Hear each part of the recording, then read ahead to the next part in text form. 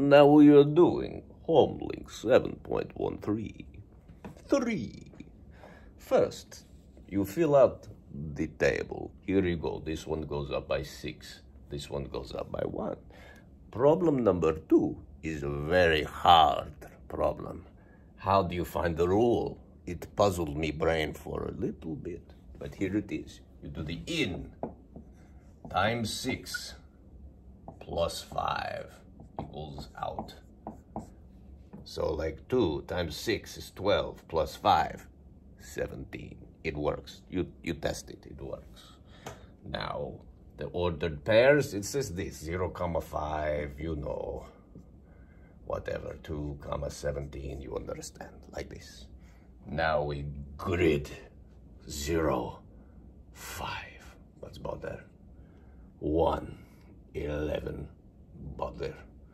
Let's jump down, 4, 29 is about right there. Now, we pull out favorite tool. Oh no, where is my favorite tool? What did I do with it?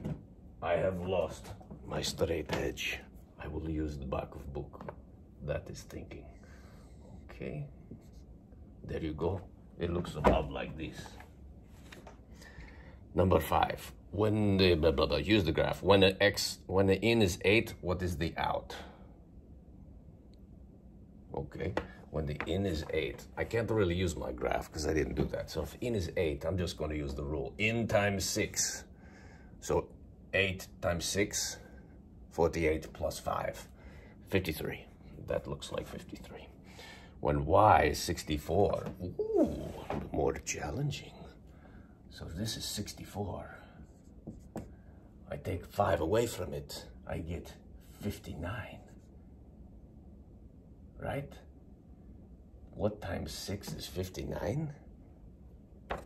That cannot be. Is that really what they want? Ah!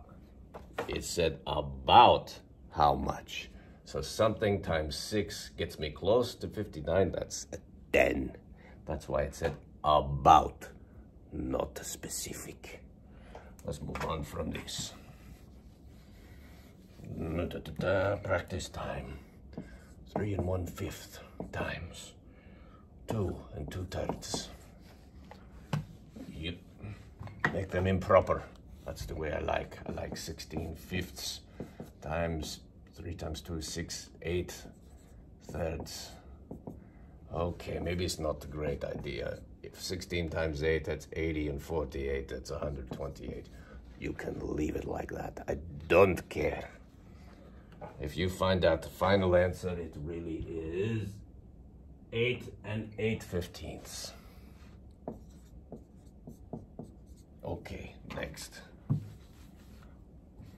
Number seven, eight and a half times 12. Now this is a very reasonable problem. Eight times 12, that's 96. A half times 12, that's a half of 12, that is six. We put together, we get 102. Right? I think that's right. I'm not even going to check the book. I'm just going to boldly and confidently move forward as if I am right. Just like our president. Oh, let's not talk politics. Okay. Number eight, nine times five and one seventh. This is good problem. Nine times five is 45. Nine times a seventh.